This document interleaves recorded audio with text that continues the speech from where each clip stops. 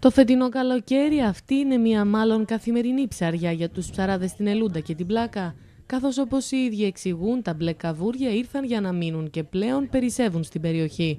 Και αν στην πρώτη τους εμφάνιση περίπου δύο χρόνια πριν υπήρξε ένα μούδιασμα πλέον, τα ψαρεύουν ελεύθερα και τα διοχετεύουν στα εστιατόρια της περιοχής, που τα σερβίρουν στους πελάτες.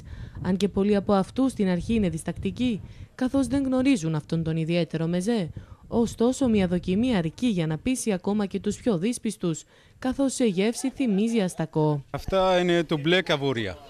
Μπλε καβούρια εδώ στο Λούδα. Κάθε μέρα πια. Κάθε μέρα πιάνουμε. Δηλαδή 30 κιλά, 40 κιλά, 100. Ξαντάτα το καιρό, άμα είναι καλό και έχει φιγγάρι, μπορεί να πιάσουμε 200 κιλά.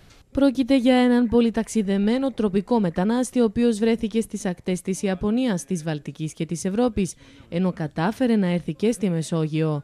Αν και μπορούν να καταστρέψουν τα δίχτυα των ψαράδων με τις δαγκάνες τους, ωστόσο αποτελούν έναν εκλεκτό μεζέ, ο οποίος πωλείται και σε τσιμπημένες τιμές. Εγώ το πρώτο το έβγαλα πριν 16 χρόνια περίπου, 17. Ένα. Ένα. Και μετά από κάπως, τώρα 5-6 χρόνια άρχισαν εδώ μέσα που βολεύει το μέρος είναι πολύ τα, για παραγωγή. Είναι ζεστό το νερό, ρηχό, έχει άμμο και ευδοκιμεί εκεί μέσα. Γεννάει εκεί, του, του αρέσει και κάθεται εκεί. Δεν είναι ακριβό. Ήταν στην αρχή ακριβό, αλλά τώρα, τώρα είναι χαμηλό. Δηλαδή το κιλό τώρα πάει 50, 50 ευρώ.